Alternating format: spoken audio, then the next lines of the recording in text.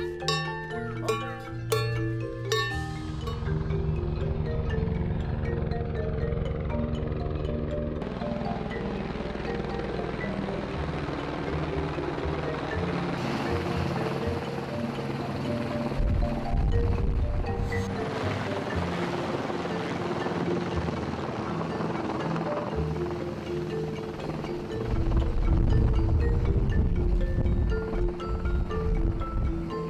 Der Grund ist eigentlich, dass wir äh, Alpen haben, die zum Teil nicht erschlossen sind durch eine Straße.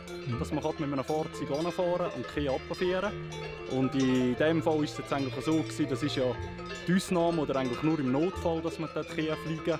Weil da sind jetzt teils Kühe, die eine Verletzung hatten, vielleicht im Sommer und jetzt wieder auf dem Weg von der Besserung sind oder vielleicht gerade kurzfristig eine Verletzung hatten und dass man äh, denen den langen Weg und steinige Weg nicht mehr zumuten, um die Kühe schonen, hat man jetzt die verletzten Tiere eigentlich geflogen.